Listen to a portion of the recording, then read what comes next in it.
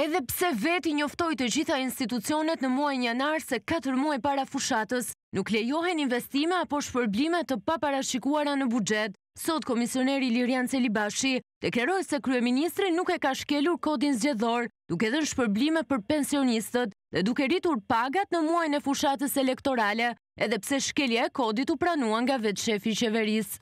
Ne nuk mund t'u themi pensionistëve që nga taksa e jashtëzakonshme, e cila mblidhet tani në fund të marsit, ju s'mund të merrni gjë se janë ca zgjedhje vendore.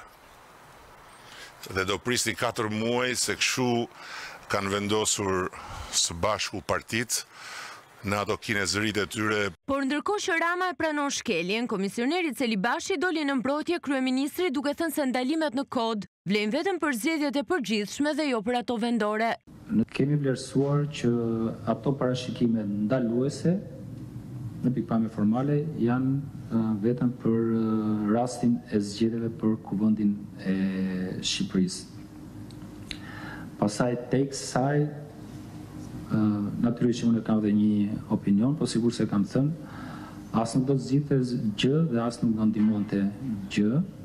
Komisioneri i Zgjedhjeve nuk dha një përgjigje nëse vendimi i Partisë Socialiste për të devijuar një pjesë të buxhetit të parashikuar për fushatën elektorale për mbjelljen e pemëve është në shkelje të ligjit. Është mënyra e shpenzimit të tyre, është një çështje e ligjit dhe ka parashikime të ligjit që duhet të zbatohen.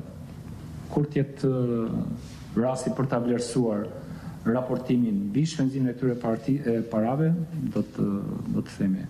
Të mërkurën, Komisioni Qendror i Zgjedhjeve pritet të shqyrtojë kërkesat ankimore lidhur me dy kryebashkiakë dhe një kandidat për Këshillin Bashkiak, ndërsa më pas pritet të hidhet shorti për radhitjen e kandidatëve në fletët e votimit për zgjedhjet e katërmbëdhjetë majit.